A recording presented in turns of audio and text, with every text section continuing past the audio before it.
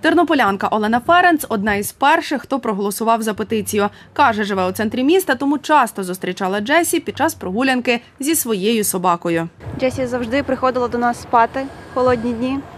От тому ми бачилися з нею доволі часто. Також вона приходила до нас, е, знала, де ми живемо, наш під'їзд, наш поверх, лягала в нас на килимку під квартирою і чекала, поки ми її нагодуємо.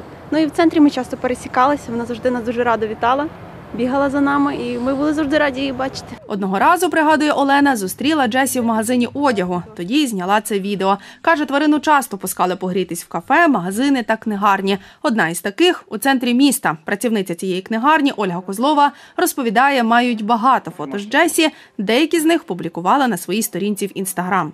Полюбляла в нас грітися, особливо от коли приходила осінь. Е, То з осені вона частенько забігала, вона спала. Ми її були не проти, дозволяли їй в нас полежати. Люди тішилися, що вона до нас забігала. Казали, вона ваша, кажу, вона не наша, вона тернопільська.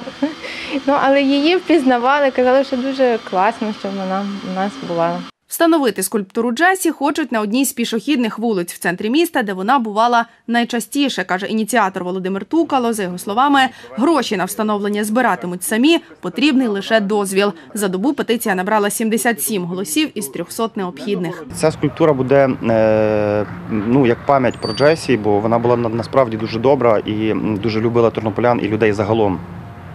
І крім того, як взагалі як символ дружби між е, тернополянами та братами нашими меншими, символ е, доброти, е, любові і людяності, щоб скульптура ну, якби несла користь.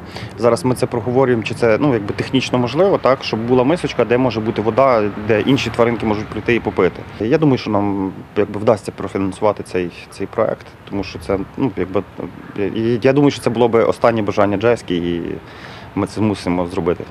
Анастасія Чечко, Андрій Прокопів. Новини на Суспільному. Тернопіль.